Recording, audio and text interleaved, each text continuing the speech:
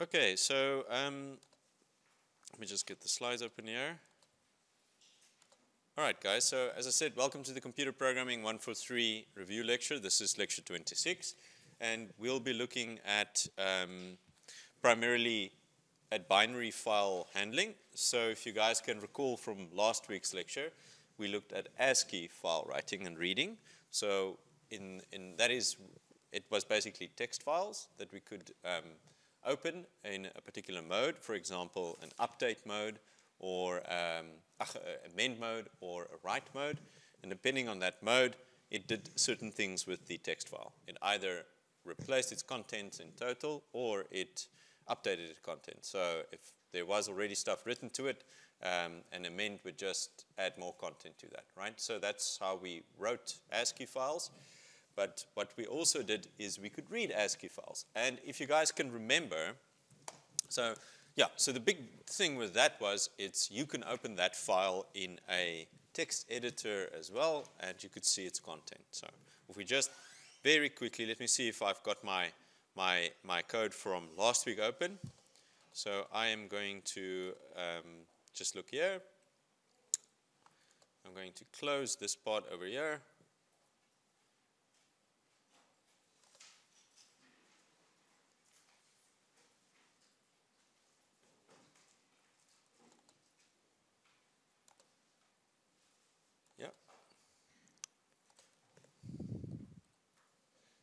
It and so essentially what my code did here is I had a main, I had a file name that, I, that is basically just a character array. It was assigned some random value over here. And then I called the content, uh, I wrote, I called a function called write content to file. And what write content to file did is it, after initializing a file pointer, and remember in the last uh, set of slides that should have been around lecture 25, what we did is we said that, that every file that you access that's located on the, on the hard drive, and the hard drive is a form of secondary storage. Any file, to be able to manipulate it during the course of your program, that file needs to get a pointer. And that pointer is of a specific type called file, capital letter, all capital letters file. And this essentially defines um, yeah, an uh, entry into the file control block that specifies um, certain aspects about the file, its size, how it's stored and things. But you need this pointer to that file in order to manipulate it when you've got when when your program executes. Okay, so over here we just defined some dummy content and here we're going to open, we opened our text file, we gave it the pointer, ach, the file name, and we said we want to open it in write mode, and my pointer came back. If it was null, there was an issue with the file opening. Otherwise, I could write my, my dummy content into my file using, for example, the f printf routine over here. And then I returned. Similarly, when I read the file, I also had to, I used a function called fopen, but now I specified that I'm going to open my file in read mode. Again, this fopen would return an issue if, you, if it could not open the, um, the file. Otherwise, we just read the content of that file. There's a lot of uncomment lines using, for example, an f scanf um, routine over here.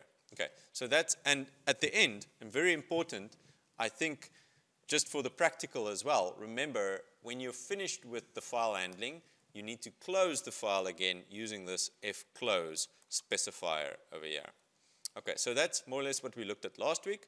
So what we're going to do now is we are still in this chapter 11 of file processing, but we are going to look at binary files. Now, binary files are really nice, but okay, so one part of binary files is you can't read them as easily as text files. Benefit of using that is think information is stored much more efficiently in a binary file. Um, apart from the fact that you cannot read it directly as a human, but you can obviously write code to read that file and print out its content.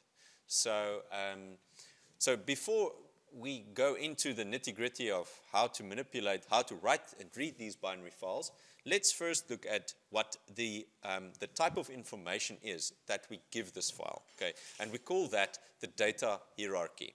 So, in the data hierarchy, on, and this is actually in, in computers, the smallest bit of information is called a bit. And it can either have a value of a 0 or a 1.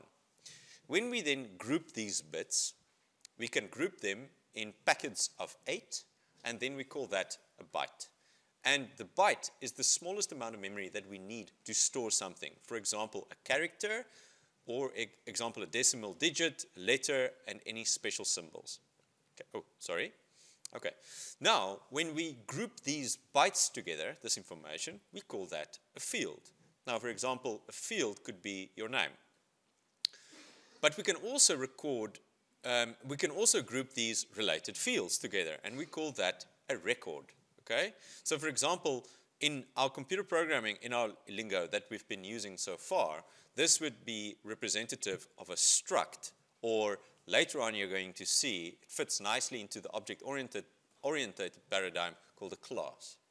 So now, for example, to see what a record is, take a payroll system, for example, where a record for a particular employee would be his or her identification number, his or her name, address, and so on, age, whatever. As you will see, all these things, the ID number, the name, the address of that particular employee is grouped together now you can think that will be very easy to write that as a class, as a struct, right? So a struct employee type would contain uh, an ID number, a name, a surname, address, things like that. And then we can even go further and assign an array with these variable, with these different um, initial instantiations of the structure for all the employees in my company. Okay. And we call each of those a record. Now, a file, like the binary files that we're going to write, is actually a group of these records. Okay. And a database would then be a group of the related files. So, for example, I save all my employees of one branch. I've got a company with numerous branches in it. All my employees associated with one branch is stored in a binary file that goes somewhere in the database. All my employees with another branch is stored in another file, and that's also submitted to the database. Okay, so one central database containing different files. In the files, there are these um, records, and each record groups a certain amount of um, groups a certain groups related information, like for example a struct representing an employee type. Okay, and on the smallest level, this bit of information we call a bit. That's essentially a zero or a one. Okay, so years is what we see over here is just a, a, graphical representation of what I've just said. So at the lowest level there at the top, you guys will see, um, at the lowest level there at the top, you guys are going to see a 1. And that is a bit. It can be a 1 or it can be a 0. If I group these bits as into a group of eight, I add eight of these, I call these a byte, okay? And this, for example, this binary number over here, that represents the character Q. So, and that character is the first one in this field called Quinton, which is the name of the employee. Then all the names, like for example, this forms part of a bigger thing called a, a, a record, where that's the first name, that's the surname maybe, and that's his age. And that's the record. Um, and then all of this is added to a file. Okay, and in our example, you could write this information in an ASCII format. So you could write a file that you can read yourself in Notepad or WordPad or, or whatever. But in this lecture, and maybe also we're going to touch on that in the next set of slides, is the benefit of, of using binary files really comes to play when you put records into the file and access records from the file. Okay, so, but before we can do this, um, we need to have some form, uh, we need to have some form of unique identifier for each of my of my entries, each of my fields. So for example, each of my employees, I need to keep track where, empl where employee 200 is and 250. And the reason is so that we don't overwrite content. So for example, here you will see that the record requires some form of a unique key. So identifies record to facilitate the retrieval of specific records from a file. Okay. So in this one, each of these employee records that we write to the file contains an, an unique identifier. A sequential file, and the sequential random components to a file, those words are going to be clear when we look at the next set of loads, uh, the next set of slides, that um, where we look at random accessing of files. But for now, in this lecture, just consider that each of the entries that we read from the file and also write to the file will be done sequentially. That, that is one after each other. But this unique identifier that they show you over here in the first column, that is used to quickly identify which record I am referring to.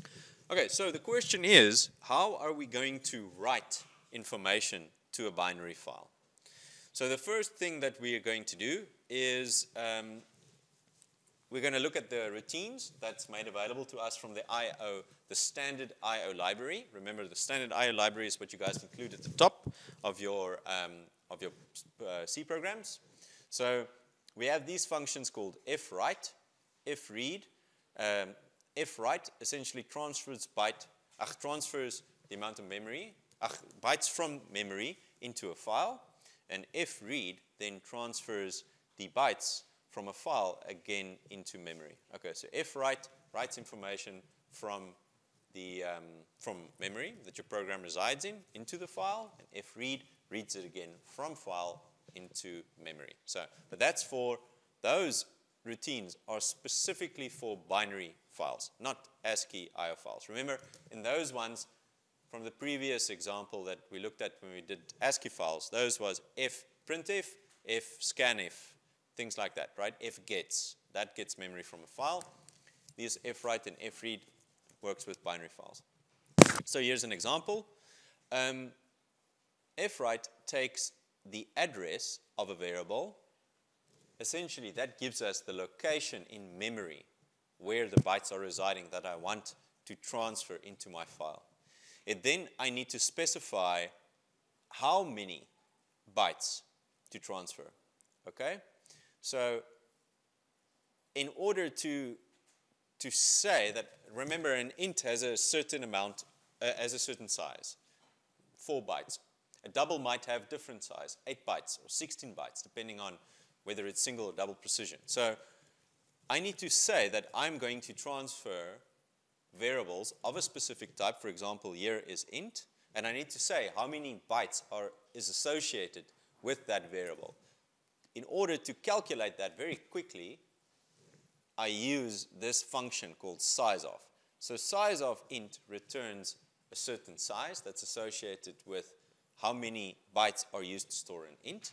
And this number 1 over here uh, if we look at arrays, that's the number of elements that we are going to transfer. So for example, if I give this fwrite the address of the first of the array name, right? That's going to be point to the first number. So if I say 5, and it was an integer array, I'm going to transfer 5 elements from that integer array into the file. That is the last argument over here. The file we identify using that f pointer. So that f pointer was the file pointer that's also featured in the ASCII file reading and writing that I showed you guys a bit earlier. Yeah. Yeah, for example, a, a variable. Yeah, so you're going to transfer one variable, one number. Yeah. Okay, so as I said, this is essentially a recap of that. Size of returns the size in bytes of the object um, in parentheses. So for example, I now have a structure that contains a name, an address, an age, an ID number. I need to calculate the size of that structure. And in order to do so, I still use the size of function and I pass the type there. Remember, if I can quickly go back to the previous slide. So over here, I passed size of, I passed int. Now remember, a struct, this, my struct, that is also just a variable type that may contain different types, like an int, a double, whatever. But I need, I need to tell, I need to calculate its size. So for that, I, I can also use this size of um, function. And here, you can see that you are also only transferring, for example, one entry of that struct. So if I'm going to read um, from my file into an object that is of this type, my struct, I'm going to have a, a call to a function called fread, that's very similar to fwrite. It also takes the object, the address of the, the object in memory into which the data will be written. And over here, it assumes that that very position, that is a pointer pointing to memory of type my struct. Okay, so here is uh, reading and writing arrays of structures. So as I said, the only difference between the calls over on, in this case, and that of a single variable, is that the second last argument would be the number of elements that you are reading and writing from memory. Okay, and over here we've got an example. So I thought a nice way for us to go through it is for me to just implement this part and or a simplified version thereof, perhaps, um, step by step, you guys can either open your editor and follow me or just follow me on the screen as we do it. And we are going to look at how are we going to write data into a binary file. So for that, I'm going to open my Eclipse. I'm going to close this project. I've already got a binary files project open and an MTC file over here. So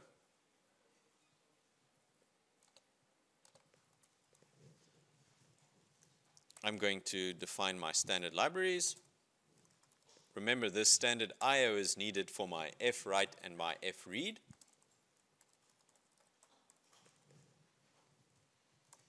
And now I'm going to define a structure. And I'm going to define this coordinate structure over here. So this coordinate essentially structure to store x and y coordinates. So over here I have, and remember when we talk about coordinates, what type of variable do you guys think would be useful to store it in? I already typed it out there. It's a double precision variable. So x and double y. Okay. Now, um, I obviously have to type def my struct over here so that I can use, I can declare variables of its type.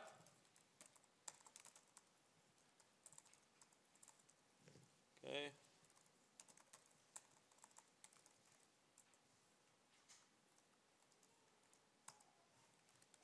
Okay, that's my main. And as I told you guys in some of the practicals, it's always useful to see when your program is finishing. So I print out finished just before the main. Okay, let's build it and make sure that everything runs fine. So, or this little, this little part runs fine. So Everything runs nice, it says finished. Okay. First thing is I need to declare some form of a file name. And in order to do that, I'm just going to say file name, I'm going to say 20 characters, okay, is equal to coord dot dat, something like that, okay. Um, and what I'm going to do then is I need to also declare a pointer to my file. And important here, it's of type file, but I think you guys should be okay with that for now, or by now, because you've seen this not only now in the binary file handling, but also in the text file handling. Um, okay, so let's define some form of a coordinate, okay?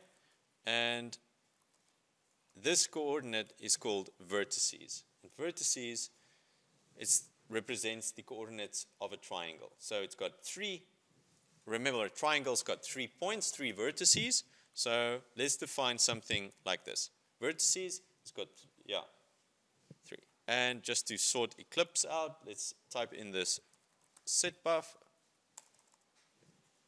Yeah, std out and zero over here. Okay, now we are not going to follow the slides completely. We're not going to read the file name. We've already specified that the file name is coordinate.dat, but obviously you guys can read that in from the user if you want to. Now, let's open our file.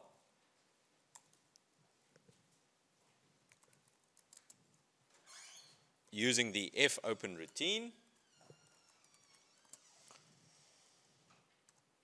for writing to it. But very important and a very big difference between the binary file writing and the ASCII file writing is this little B that features there.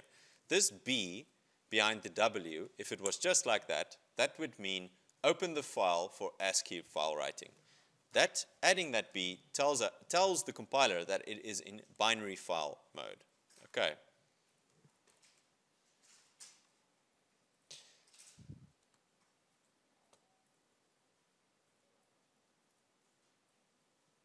That's not right. That's right. Okay. Now,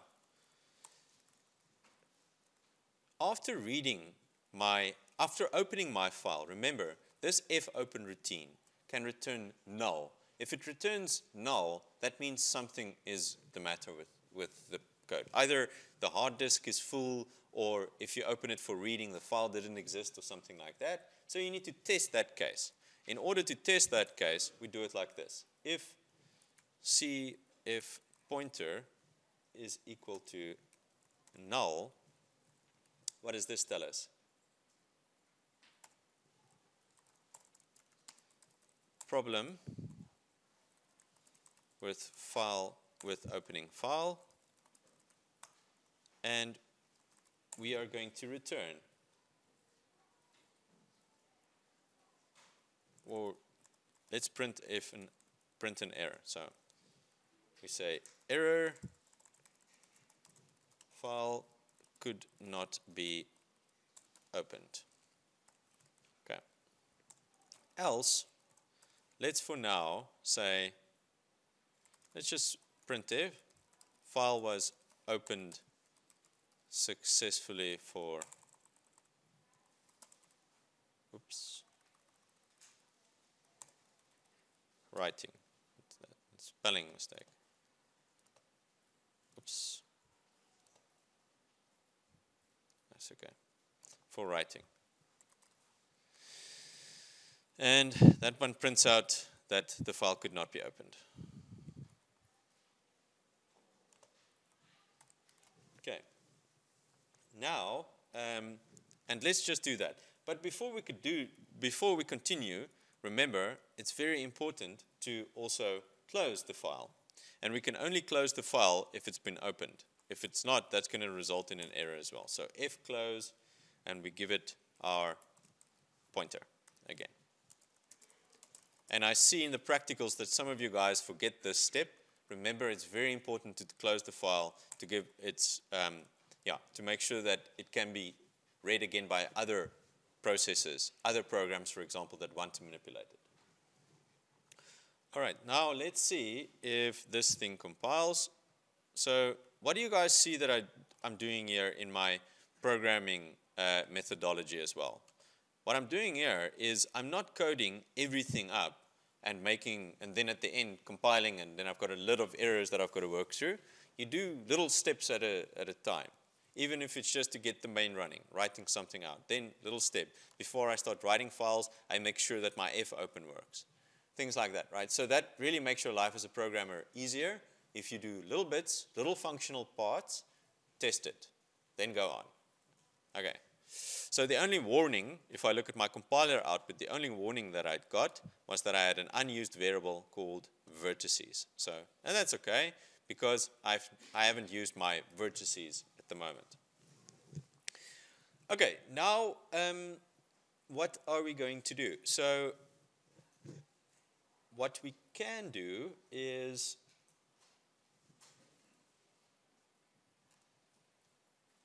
we can read some vertices from the user. Let's maybe see if we can do that. So if my, my file was now opened correctly, I'm going to read some vertices in. So I'm going to say printf, please specify the vertices of the triangle.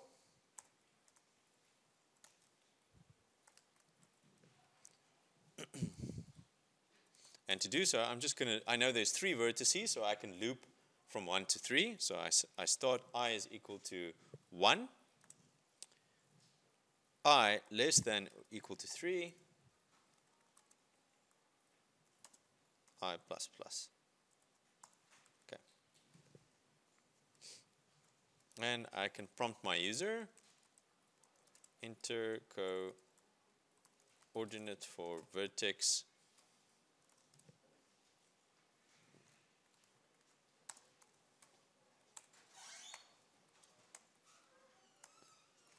Okay.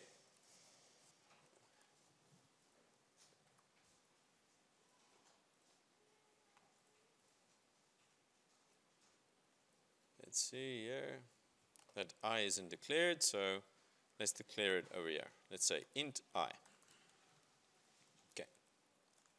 So i loops from 1 to 3. I ask the user to enter the coordinate, and then I obviously have to read the, the values from the, from the user. Um, okay, and I'm going to store it in my structure. This is my structure over here, an x and a y. So I only have a two-dimensional grid with x and y coordinates. So to do that, I'm going to use the scanf routine, scanf percentage if, no, lf, that scans a double, percentage lf, and I'm going to store it into my vertex x and my vertex y components over here. Okay. But do I have, have I already defined my vertex?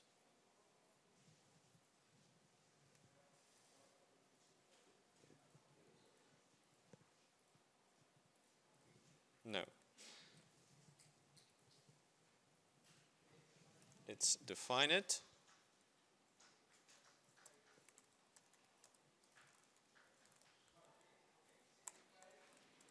And I think that features only later on. So I'm going to store the coordinates x and y into my vertex, and my vertex is a variable that is pointing to this structure, or not pointing to, it's a variable of this structure type that contains an x and a y.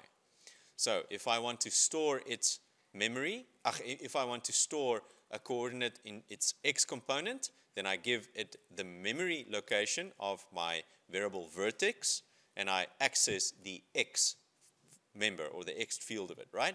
And then same for the y component over here. Okay, um, why don't we do this? Okay, so let's run it and let's see. Let's build it again. Okay, and let's run it to this point. Please enter coordinates for vertex 1,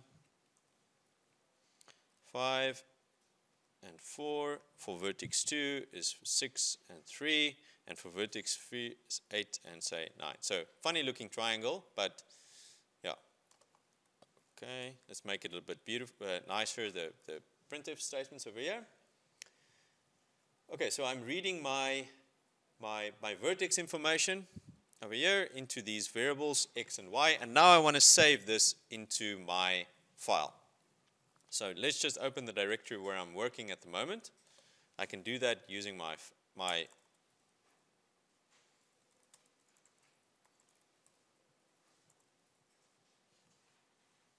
file explorer, okay. Ah, it's called Windows Explorer. So this Windows Explorer, I go to my directory that Eclipse, my home directory that Eclipse is set to. So it's over here. Let's see over here.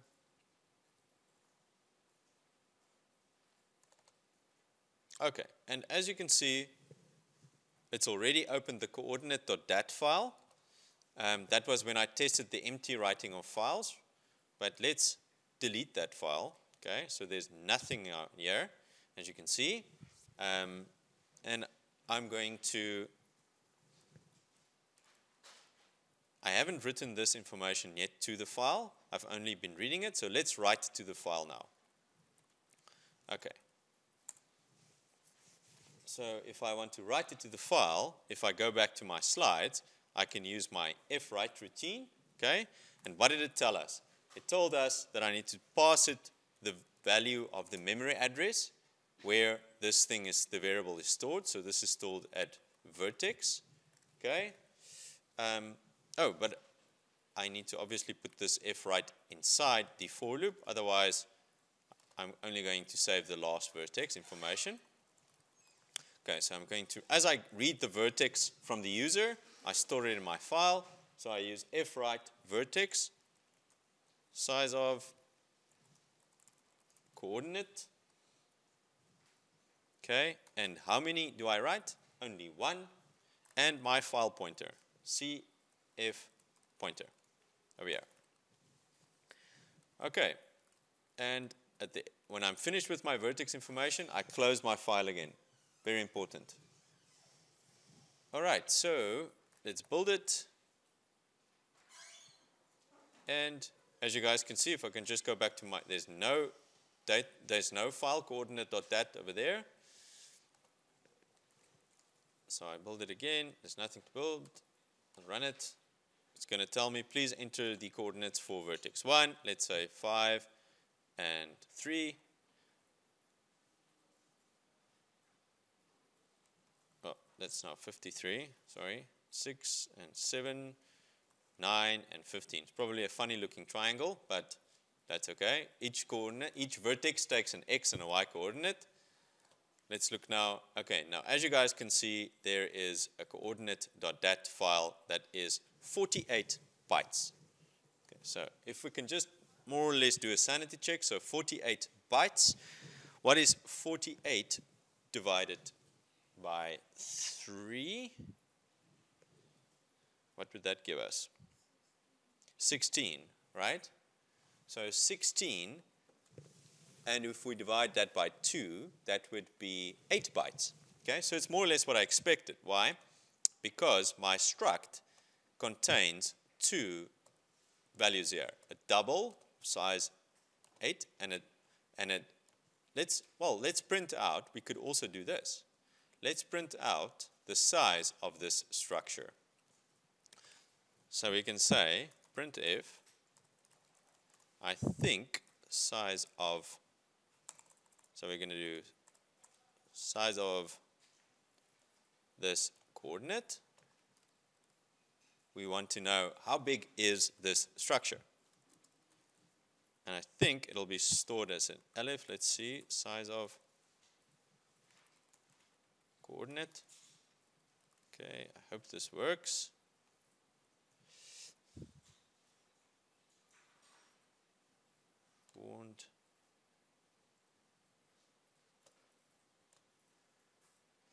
Okay, maybe just a float.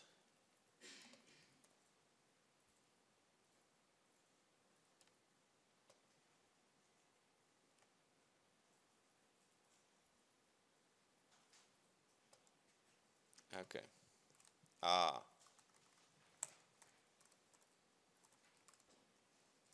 I think it's an integer. It's not a double. There we go. So size of returns an integer. Obviously, it returns the size in bytes of the particular variable. So, and we're just going to, um, we aren't going to do the other part, so we're just going to return here. So, or that would be return zero. Okay, just want to stop. We just want to see what the size of routine is giving us. I run it. So size of coordinate would be 16. Okay? So what we've done now is we see that each entry, if I declare a variable of type coordinate, it has 16 bytes. So if I write three of those to a file, that would be the bytes that I'm looking for. Okay, that'll correspond more or less to my file size over here. Okay, so um, yeah.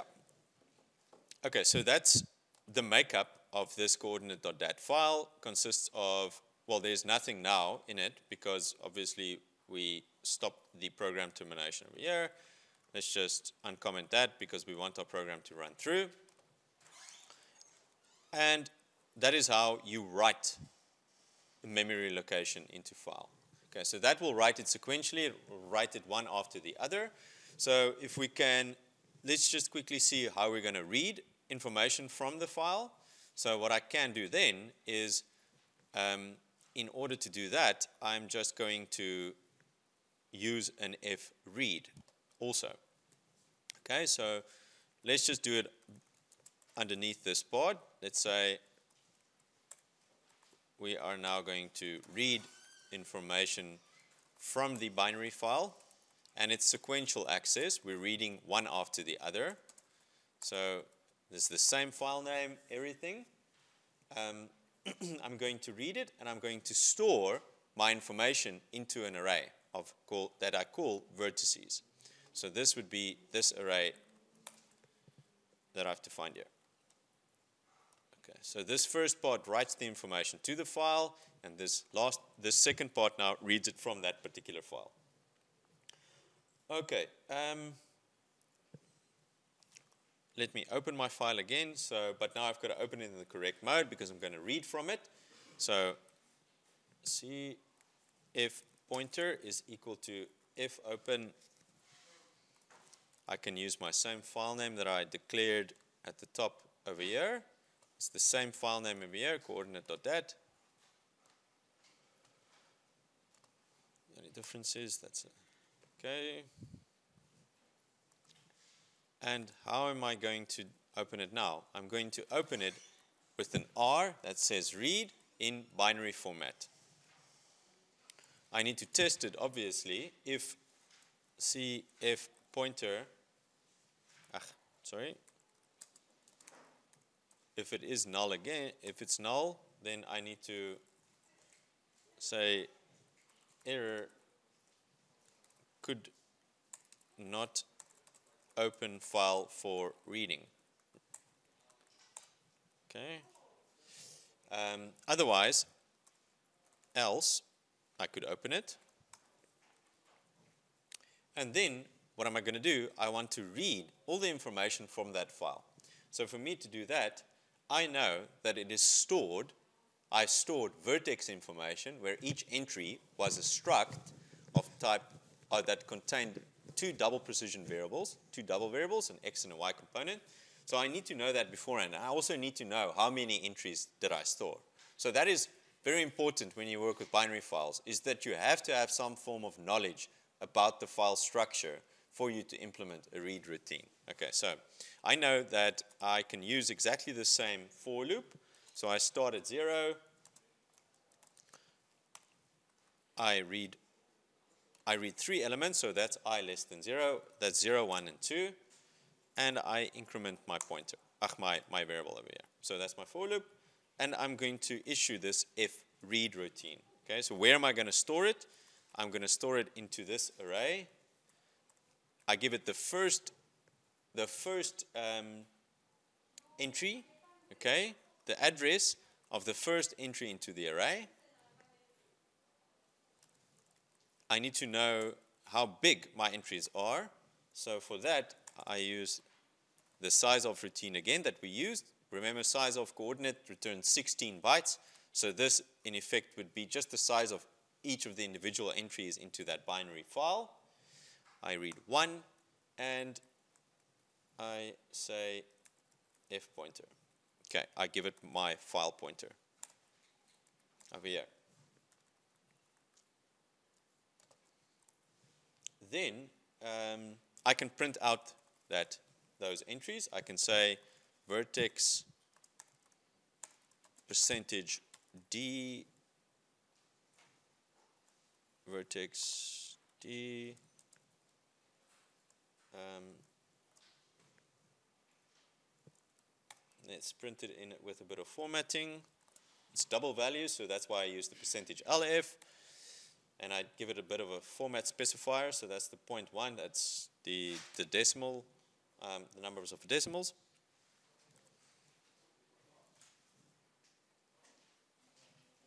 And I say that my vertex is called i plus 1, remember, because I'm reading from 0. And why am I reading from 0? Can any of you guys guess why this i starts at 0 and not at 1? Yeah, because the memory of the array starts at 0, right? C, remember in C, if you look at that vertex array, those arrays, array indexing in C starts from 0 onwards. Okay, uh, so I say i plus 1, and I now access the x and the y component of the variables, the members of that particular struct. So it is vertex, sorry, um, Ah, it's vert vertices. Sorry, I store it in vertices. I dot x and I store it in vertices i dot y.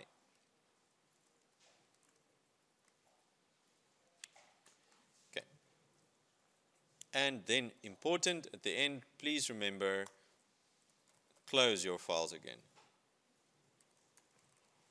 over there. And I finish.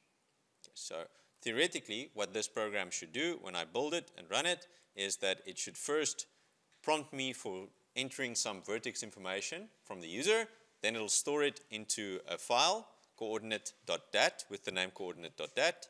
I can expect that file to be of about 48 bytes big because each of the entries is of type of this type, struct coordinate, and it's got two double, uh, two double variables, right? And the total size of this is 16 bytes.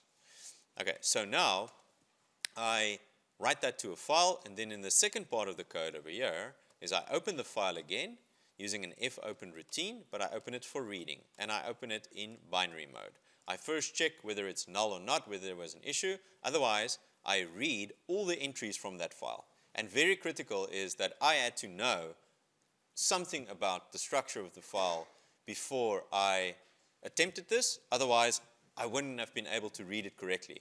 Okay. So in practice, what people usually do in software is they write a little bit of information of the file into a header block. Okay. So the first bit of the file contains how many elements does it have, what type of elements, things like that. Um, otherwise, the programmer would have to know intricate details like this, for example. There's three elements. Each element is of this particular type. Um, yeah. Okay, so let's build it. And let's run it. So my coordinates for vertex 1, let's say it's 5 and 6. Vertex 2, 7 and 8. And vertex 3, 9 and 10. And there we go. So it reads, let's look in the directory. There's my coordinate.dat. It's of 48 bytes, so it contains the correct amount of information that I'm expecting. Um, and if I look at my output over here, so I still see all my vertex information was correct. 5 and 6, 7 and 8, 9 and 10. All that information I read from my file. Let's just quickly, before we um, wrap this up, I want to show you guys something. Now, for example, if I rename this. Uh, no, it won't. I can, for example, now perhaps not write it and only read it here.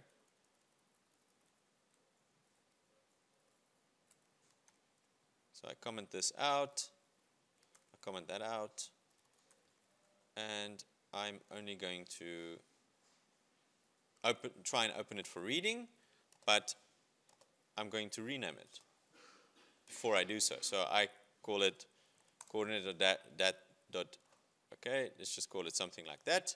So my, my program is going to look for a file that is called something like that.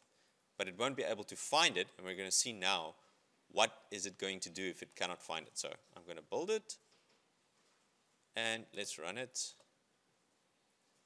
It prints out this error over here. Could not, could not open file for reading. And then finished right at the end. Okay, so that is why we need to test that file pointer for null. Okay, guys, I think um, that wraps this part up. We're not going to start with the binary, uh, with the random access file writing and reading. I had a couple of you guys asked in the practical or the project, how can I check my binary files? You can check your binary files by implementing a read routine as well and writing the content out to the screen. And then you will be able to see, okay, am I writing all the information that I'm giving my program correctly into the file? You can verify that by just implementing a very simple read routine like I'm showing you guys over here. Okay,